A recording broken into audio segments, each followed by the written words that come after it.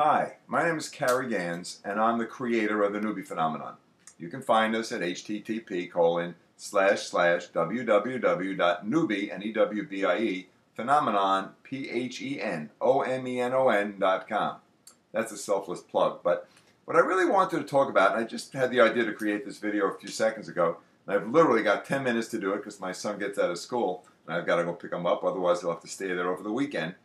But I, I wrote an article just recently and sent it out uh, to, to the various article sites, and the article is entitled, Why Does an Internet Marketer Use a Little Blue Pad? This is my little blue pad.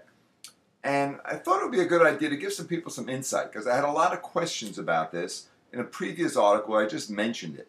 So I thought I'd take five minutes of your time, if you're interested, to tell you all about my little blue pad. Why do I use it? What's the purpose of it? First of all, you'll see it's it's not huge. It's not a big blue pad. It's a little one, and it's small enough to fit in my pocket. Now, why do I do that rather than use my iPhone, which I have on my hip, or a PDA or something like that? Well, the iPhone on my hip and my PDA are like, like an appendage. It's like an arm or a finger. They're always there. They always will be there. And I forget they're there. So I don't always go back to check to make sure that what, what is on there. I got to go into notes and I got to check the notes. And I just don't do it. Now, if you put this sucker in your pocket, well, what's going to happen? is You're going to, every time you touch your pants, every time you sit down, you feel it. So it reinforces the need for me to review my list of things to do, my task list. Now, it also enables me, in an old-fashioned way, to keep multiple pages. Well, the purpose of this brief video is just to review page one, which is really my major page. This I look at every morning, every afternoon, every evening, and I review it. And what I did was I listed all the things that I know I've got to get done to take care of my business online. So, what do I put on here? Well, first thing is I write write one article per day.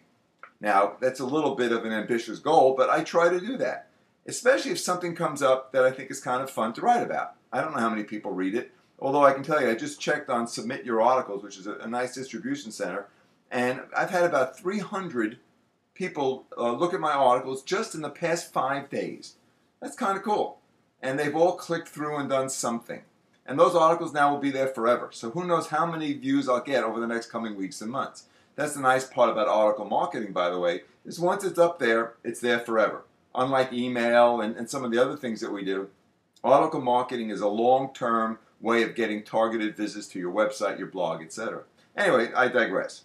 Number two is write one blog entry per day. Well, that's also a bit ambitious, but it's important. If you want to have good content and you want people to go to your blogs and you want people to go ahead and use your blogs and, and become establish some kind of relationship with them, you need to enter things. You, it's a job. It's like anything else. So I have a reminder to make one entry. Now I have five or six blogs. People have 50 or 60. I have five. And I make sure to enter something into them each day. Number three, write one forum entry per day. Now that I don't do, I'll be honest. I, uh, the only forum I really go to is the Warrior Forum, which I think is terrific. I mean, uh, I learn more by going there than I certainly give. It is just one of those great places where you can sit back a cup of coffee and just skim through it and you'll get all kinds of great information and people tend to go back there and respond to your questions. So I think the Warrior Forum is great, and I try to you know comment when I think it's appropriate. I don't force the comments because truthfully, a lot of people they're smarter than I am. So, but anyway, right, I try to write one forum comment. Send out one email per day, and now I belong to, like most people, many lists. I have my own lists that I that I like to stay on top of. I want to make sure that I respond to people and that I comment to people and provide information and I establish relationships and maintain them. So it's real important that I send out those emails. Now, some of them are on, are on autoresponder, but you know, autoresponders have a place, but there's nothing like a personal email. So I try to do that once a day.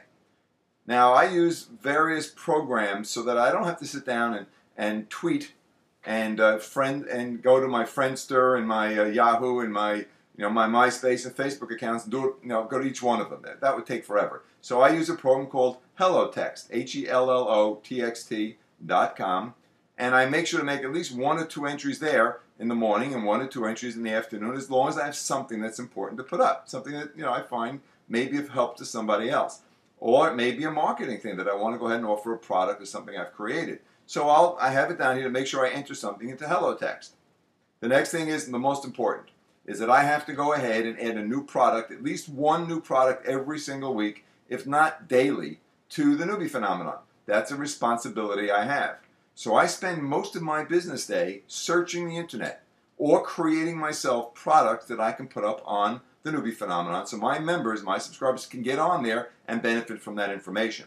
So that is something I have I have it down here. It's, it's number seven, and that's probably the most important of all of these. But by having it here, I can't forget to do it because this is not comfortable to put in your pocket.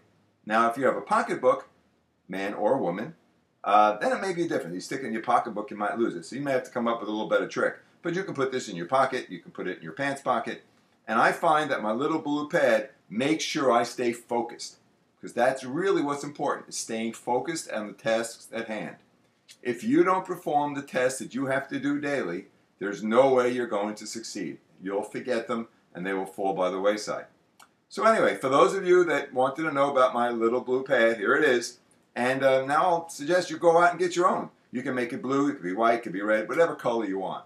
So go out and be focused. Have a great and successful day. Thanks for listening.